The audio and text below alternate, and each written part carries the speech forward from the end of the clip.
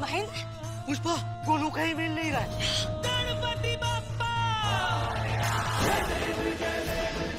राज माँ अचानक से कहीं चली गई है मिल नहीं रही है।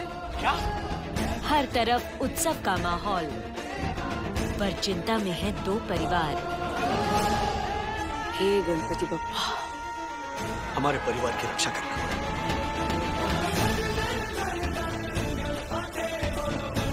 किसी संजोग ने रचा है चमत्कार कि मिल रहे हैं वागले और पुष्पा के परिवार। देखिए वन आवर स्पेशल 12 और 13 सितंबर रात 9 से 10 सोनी